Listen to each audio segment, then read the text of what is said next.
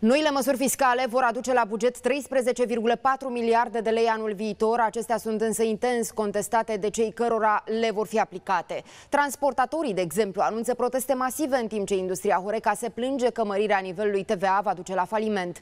Există însă și industrii, precum cea a tutunului, care consideră că revenirea la un calendar fiscal predictibil este benefică. Majoritatea măsurilor vor intra în vigoare de la 1 ianuarie 2023, excepție făcând majorarea accizei la țigări și la băuturi alcoolice, schimbarea modalității de calcul a contribuțiilor sociale pentru contractele part-time, creșterea impozitării pentru industria jocurilor de noroc și scăderea plafonului până la care se acordă facilitățile fiscale în construcții. Acestea vor fi operate de luna viitoare. Guvernul vrea astfel să își asigure venituri sigure în buget. În momentul în care noi luăm bugetul României și vedem care sunt principalele încasări, pe primul loc se află taxa pe valoare adăugată, pe locul 2 se găsesc accizele, pe locul 3 se găsește impozitul pe venit împreună cu asigurările sociale aferente veniturilor din salarii. Noul calendar de accizare în industria tutunului va aduce scumpiri de 50-60 de bani pentru un pachet de țigări. Creșterea accizei a fost discutată în avans cu mari producători care au cerut guvernului predictibilitate fiscală pentru a-și putea planifica afacerile.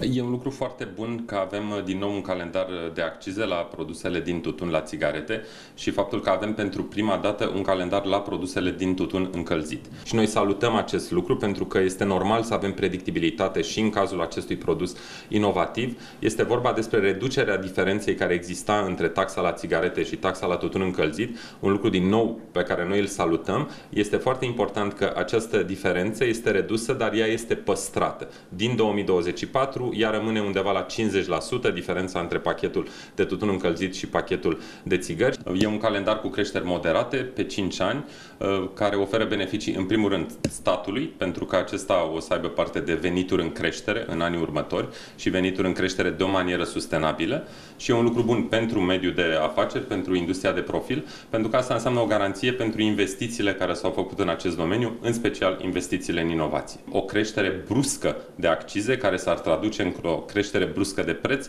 ar avea acest efect, nu de descurajarea fumătorilor, ci de împingerea lor către traficul ilicit. Pe de altă parte, industria Horeca nu este mulțumită de noile modificări. Creșterea TVA de la 5 la 9% ar putea să le scadă vânzările pentru că majorarea se va vedea direct în prețurile produselor.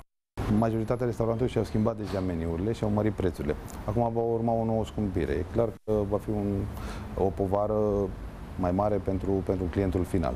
Transportatorii susțin că noul pachet de măsuri va majora impozitele pentru salariații din sector de până la 10 ori, ceea ce va duce în primă fază la pierdere anuale de circa 1,5 miliarde de euro. Am anunțat, vom face un protest în toate orașele din țară. Deci dacă nu vom fi luați în seamă și nu ni se vor asculta propunerile, nu avem ce să facem, nu mai avem ce să pierdem.